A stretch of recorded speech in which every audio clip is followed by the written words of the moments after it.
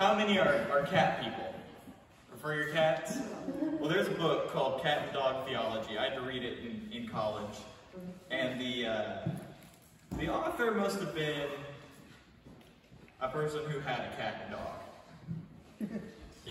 Because you can look a dog in its eyes and you can see, man, that dog loves me. You feed a dog, you pet a dog, like, it knows. You feed me. You let me go outside. You love me. You must be God.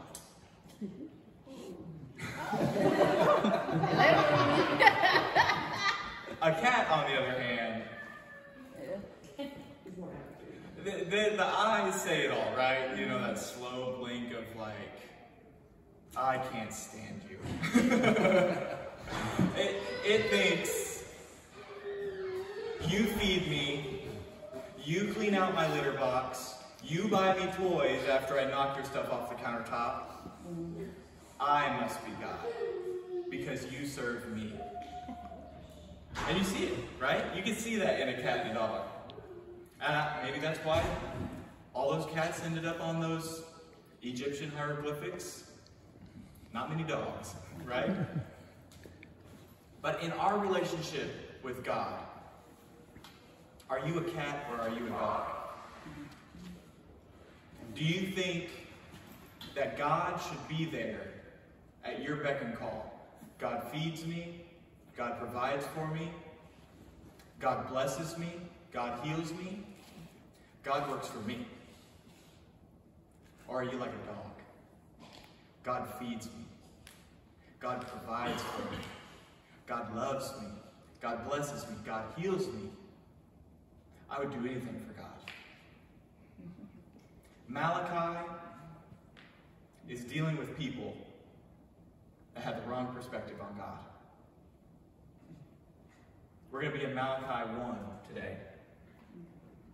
We're going to go kind of verse by verse for the first half of the sermon. Malachi is the last book of the Old Testament, right before Matthew.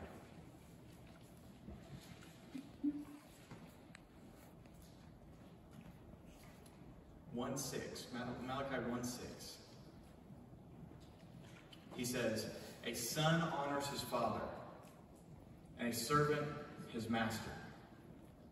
If then I am a father, where is my honor? If God is the father, if God is the creator, where is my honor?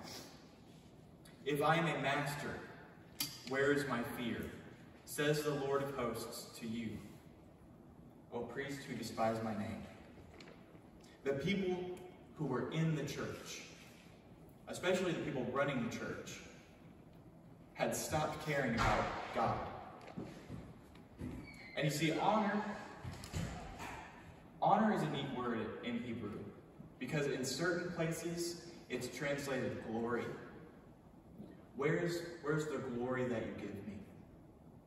And in other places it's translated as a burden because it is something heavy.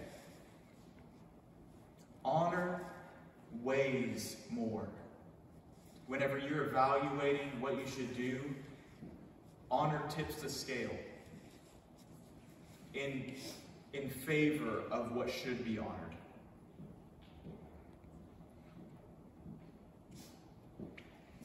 This isn't necessarily directly related to my sermon, but I thought it was just too neat to pass up. That parents, you are cooperating with God. God is allowing you to be involved in creating something new. Whenever you have a child, you've helped God create something. Isn't that neat? And that's why parents deserve special honor. Because they have worked alongside with God in creating something new. And a servant is master. So we've got we've got home and we've got work. And aren't those about the only two things that there are? There's other times, you know, there's there's travel and there's fun and there's, but those things are really just a sliver of the pie whenever we think about it. So God's saying at home and at work, where is the devotion that you have to me?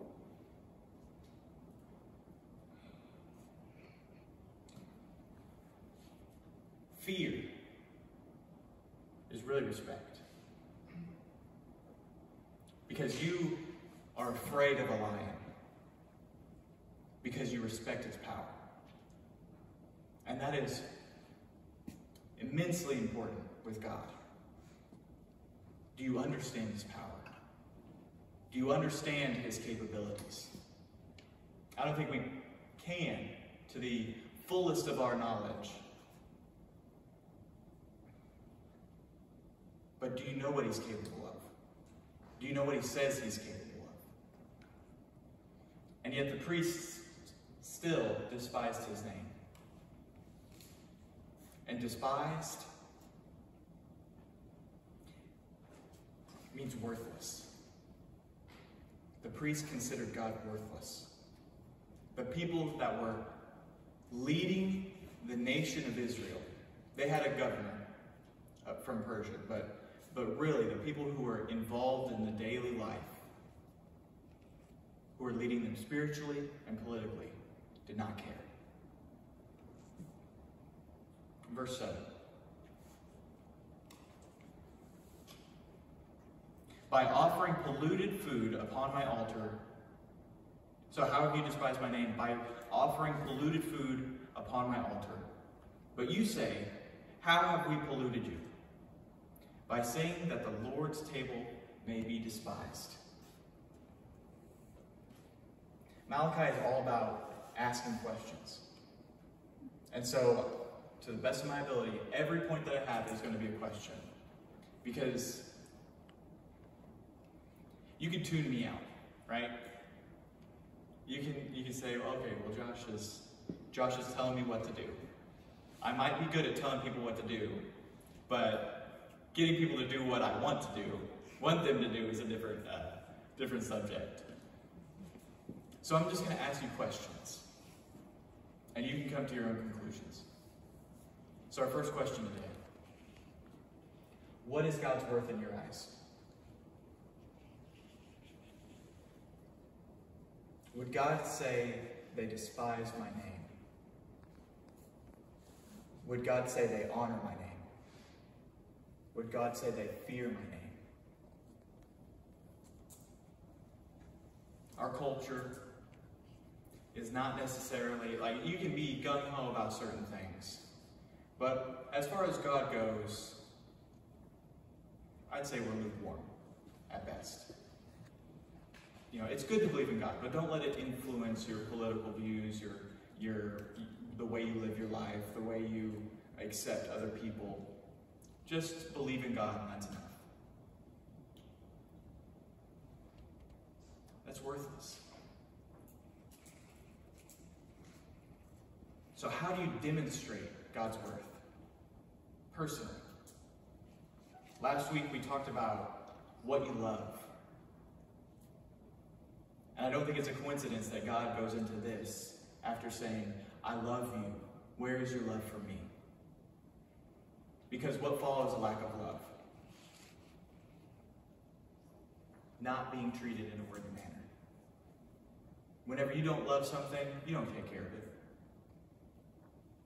Think about work. If they're like I work in construction, you guys know this. Like any any trade job, most of the time, the only person who cares about the tools is the boss. Where's the tools at? Well, I don't know. This guy put it up, so who knows where it's at? They don't care. They're just throwing stuff around. You know, I might get left on the job. It might, get, might have got left in, in a different trailer. Who knows? Because the employees don't care as much about what's going on as the, as the owner? Do you take ownership of your relationship with God? Do you take ownership of any of your relationships? What do you love? What do you consider worthy of your, of your heart, of your time, of your effort?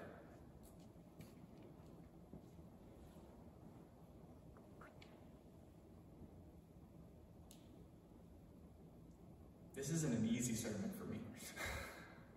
I don't, I, man, this is, this is heavy. And I was not looking forward to preaching this sermon. And it doesn't get any better, guys. it, it gets harder. So what is God's worth in your eyes?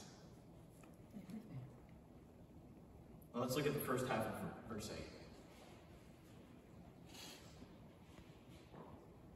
When you offer blind animals in sacrifice, is that not evil? And when you offer those that are lame or sick, is that not evil?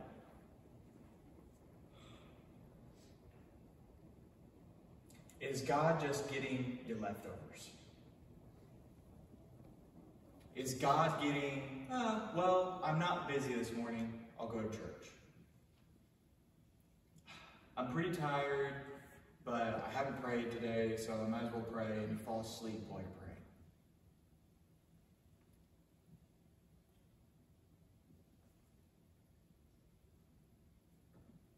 Is God getting the leftovers? Is God getting the scraps from the table? Is God sitting in heaven wondering why I give them blessings and blessings. I give them all that they have. I created this beautiful world for them to live in. I gave them passions to enjoy. It's like dealing with children. They don't even understand what's special. And they chase these other idols. They chase what's in just going to end.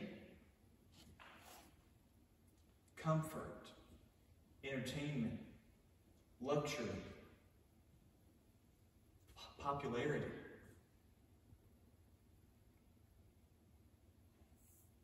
What is getting the first fruits of your effort? It's really quiet in here. Verse 8b. Present that to your governor. Now, Persia had taken over the Babylonian Empire, let them be self-governing, but there was still expected to be gifts and offerings presented to the governor.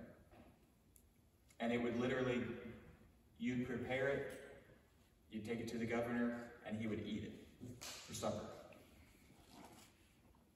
Will he accept you or show you favor? Says the Lord of hosts. If you give the governor a diseased, blind, lame animal, is he going to accept that? If you give your best to anything else, why can't you give it to God? That's our second question today. To what or to whom are you giving your best? What is actually getting the majority of your effort, the majority of your. You know what? God doesn't even ask for the majority. God just asks for the best. You know, he, he gives us 100% of our, our money. He says, you keep 90. 90%. Just give me the first 10. And this isn't a tithing sermon. You guys are awesome about giving. But He says, Give me that best 10. In the Old Testament, he said, Give me a young male as spotless. Because these animals were animals they didn't want in the herd. You got a blind one, you got a sick one, You got one that can't move. We'll just get rid of that one anyway. So I'm available right now. I haven't, so I'll go ahead and do what God wants. But if I was busy, it'd be a different question.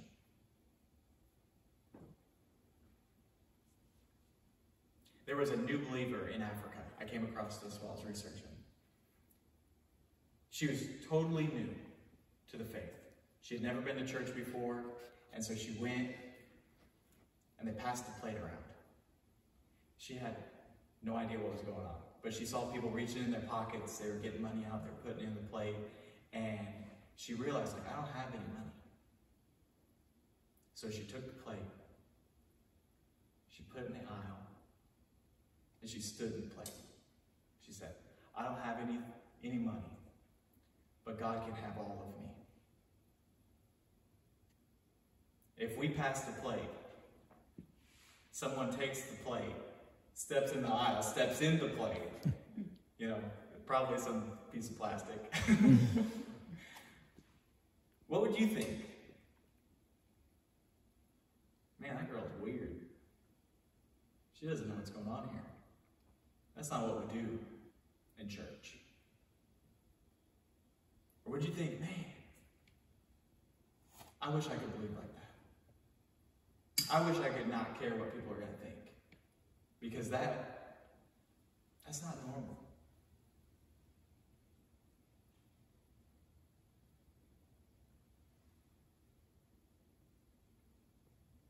What are you giving yourself to? Is it work? Is it family? Is it a hobby? Maybe, maybe you don't even realize what, maybe it's just whatever comes up. Because there isn't really a plan. You just go with the flow. And I go with the flow, trust me. I, it's a good thing I have Moriah to keep me on track because otherwise it'd be like, well, yeah, watched TV for a couple hours this morning and um, I ate some food and that's what I gave myself to today, you know? But God doesn't want that either.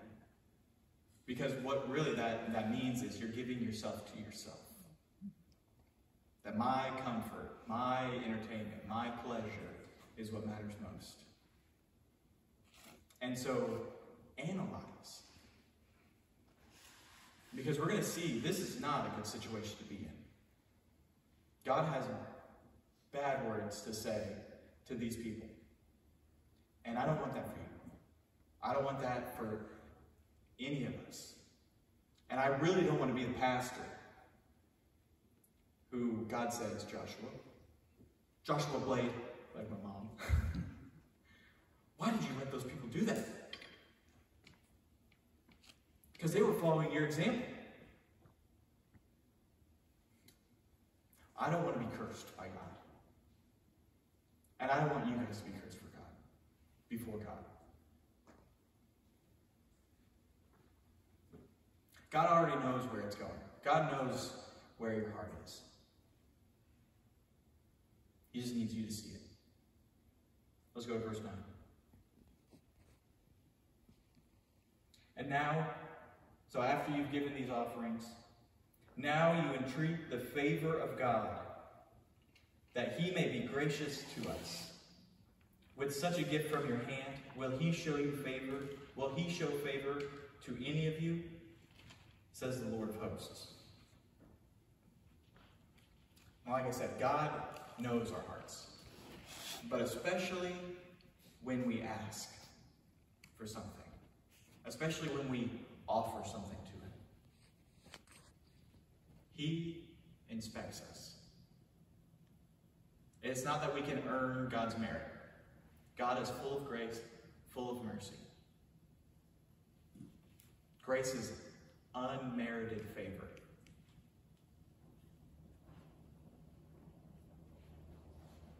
But take kids, for example. If a kid, you've told them, you know, you need to go clean your room. You need to clean your room. I'm getting some eye rolls. we know where this is going. You need to clean your room. I'm telling you one last time. You need to clean your room. Why?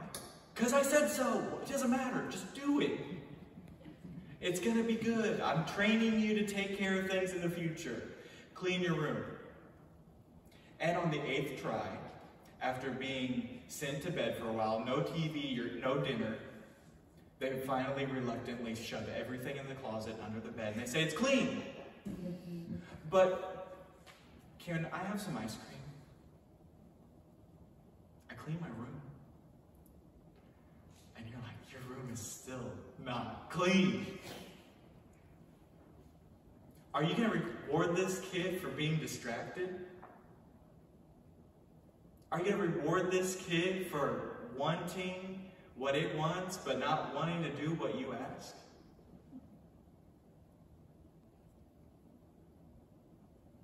And now you entreat the favor of your parents who buy all the groceries.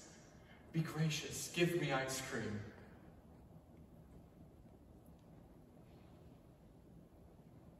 How much are we like kids? You know, we grow up and we think we got it all figured out. You know, well, I don't have to clean my room because I'm an adult and I can treat it the way I want. And I can eat ice cream because I bought it. And God's in heaven saying,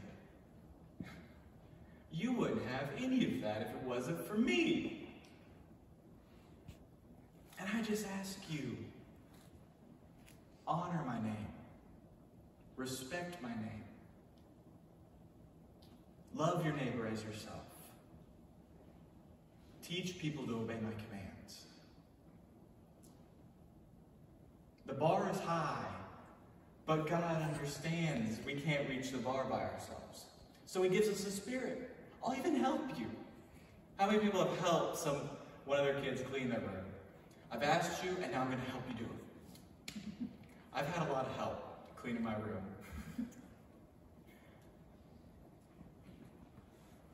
but God knows. God knows where you're hiding stuff. God knows where all your time is spent. God knows where your heart is gone. But like Levi said, you still have value. He still loves you. He still cares about you, regardless of all that. But he says, how can I bless you when you act like I'm not even a part of your life? And this is not the health, wealth, and prosperity gospel. There is always going to be hard times. But God makes everything better.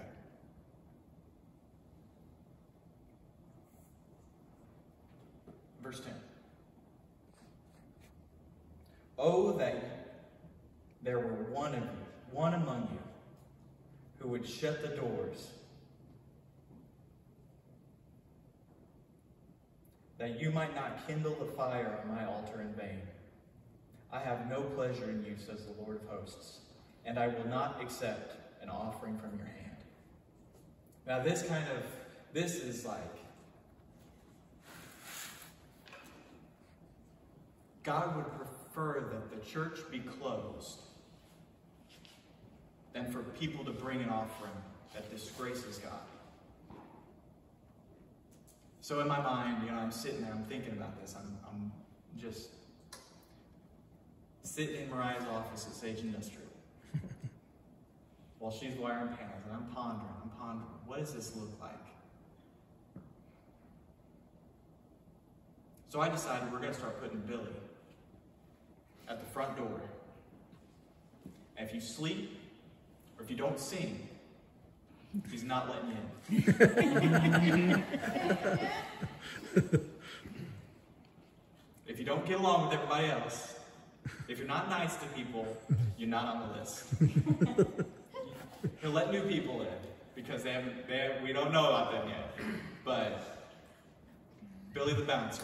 no greeters, just people who turn away. What would you think if you walked up to a new church, never been there before, and there's a guy with a list. Uh, I don't see your name on the list. Lucky for you, this is a prohibiting list. You can go in. You'd be like, this church is weird. they got some messed. How many bad people are in this church? None, because I didn't let them in.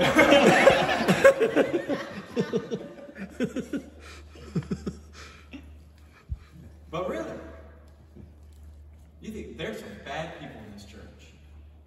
Or that's a bad church. They don't know what they're doing. Church wants more people. It doesn't matter what those people are like. It doesn't matter if they call themselves a Christian on Sunday, but cuss like a sailor on Monday, right? Because church just wants more numbers. God says, close the doors. Even the few faithful people. I'd rather everybody be shut out. Don't light the fire. He's talking about the altar, but maybe we just kill the heat. you know?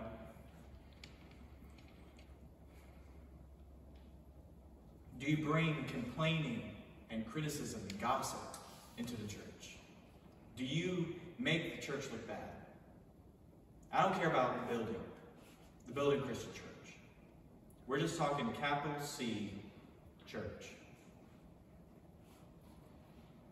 Because we are the representatives of God. People say, you know, I don't go to church because of church people. I'd go to church if it wasn't for church people. That makes sense. you want to go to an empty building? But that's our fault. Because we continue. So the next question is, why do you go to church?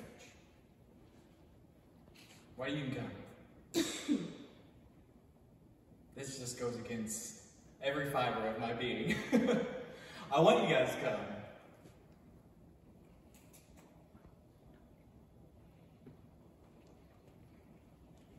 But I want you to come for the right reasons.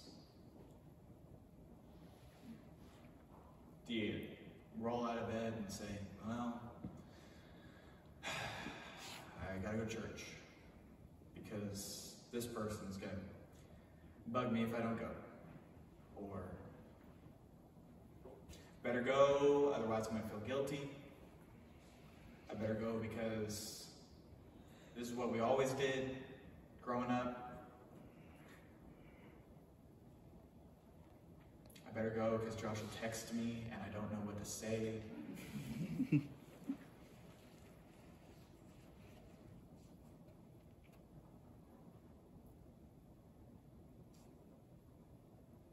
Why do you?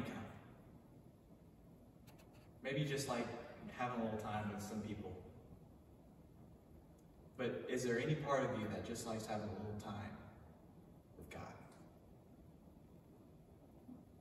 I think you can, I think the church, part of our existence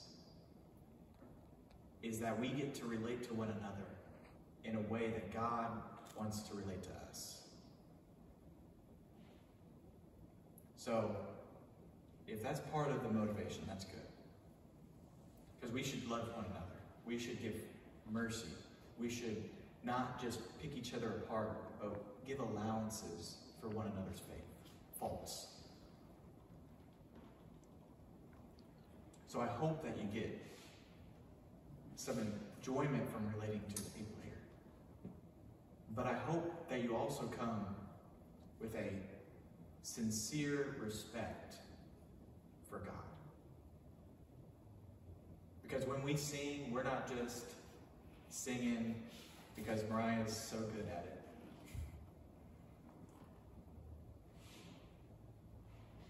You know, it's not just a concert, not just a coffee house setting. This is our chance to come together and sing to God, to reflect on the words of the songs, like that song, Rescue. God hears our whispers. God hears our SOSs. Even whenever it seems the darkest, God is there. He'll never stop fighting. He'll never stop marching. I'm going to cry. These are opportunities for us to say, Thank you, God. I love you. You mean so much to me. And to be reminded that even in the darkest times, you can come here and you can experience some light.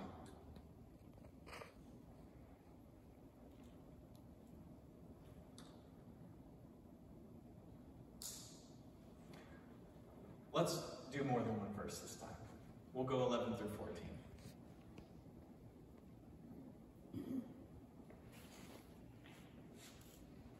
For the rising of the sun to its setting, my name will be great among the nations. And in every place, incense will be offered to my name, and a pure offering. For my name will be great among the nations, says the Lord of hosts. But you profane it when you say that the Lord's table is polluted, and its fruit, that is, its food, may be despised. But you say, What a weirdness this is. You snort at it. The Lord, says the Lord of hosts. You bring what has been taken by violence, basically stolen, or is lame or sick, and this you bring as your offering. Shall I accept that from your hand, says the Lord? Cursed be the cheat who has a male in his flock and vows it and yet sacrifices to the Lord what is blemished. For I am a great king, says the Lord of hosts, and my name will be feared among the nations. So, our next question. So, what if you just don't care? What if, after all this, it doesn't matter? It doesn't matter what God wants, doesn't matter what God thinks. You're just going to go about your week the same as you always have.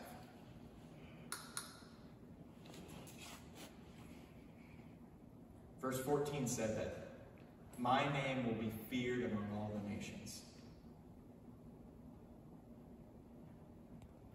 And there's a reason.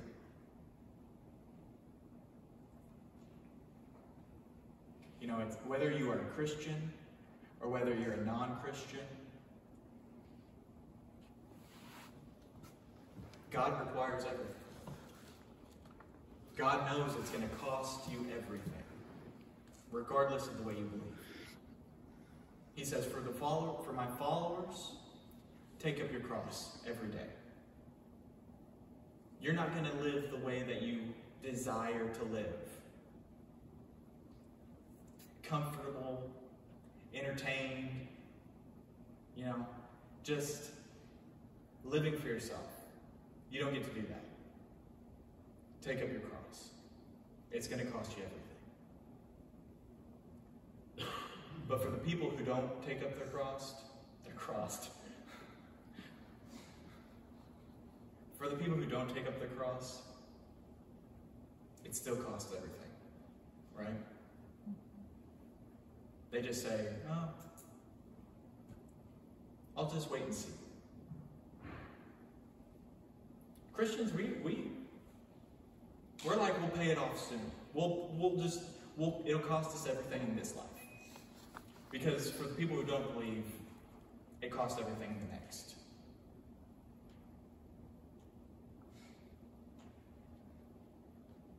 It's hell.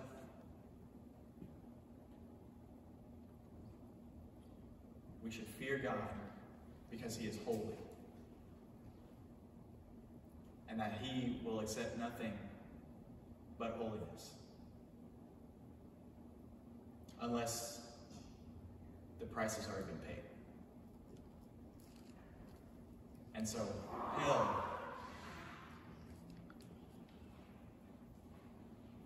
is a great reason to be afraid.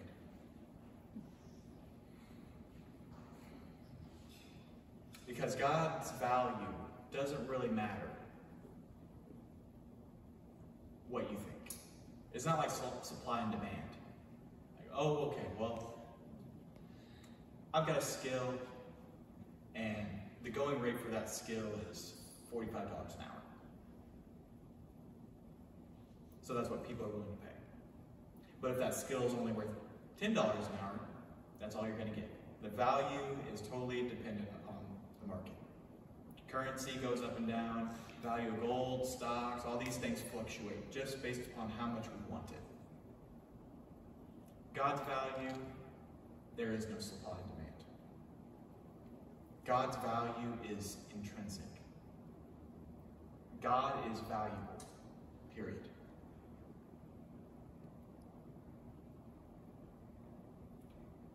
And so it's up to us to give God that worth in our hearts, to recognize God's worth, to appraise God and act accordingly. And so I hope that you count the cost. I hope that you see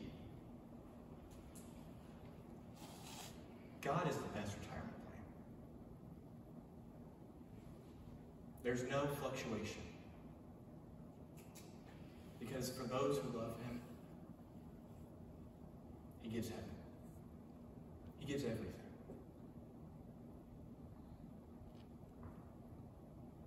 We're going to be some happy dogs in heaven. No fleas.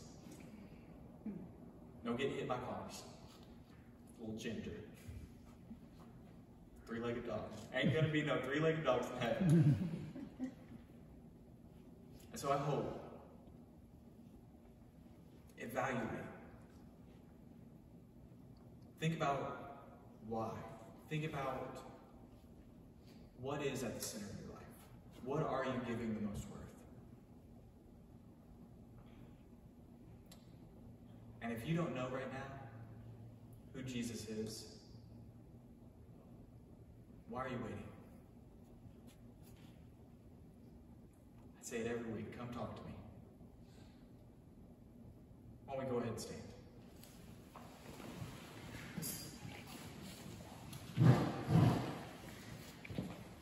God is the most valuable thing that there is. A relationship with Jesus is the most valuable thing that there is. If you've never been baptized, if you've never entered into that relationship with Jesus Christ, don't wait any longer. I'll pray and we'll be dismissed. Father God, help us to, to see your worth. Help us to look at our lives and see what we're giving. God, I pray that you will open up our hearts, open up our minds, open up our eyes every day. That we might bless you. That we might do what you want us to do the first time you ask it. And God, I pray that you will bless these people for their effort. God, hope, help us to show your love to the people around us. Help us to bring good offerings to you.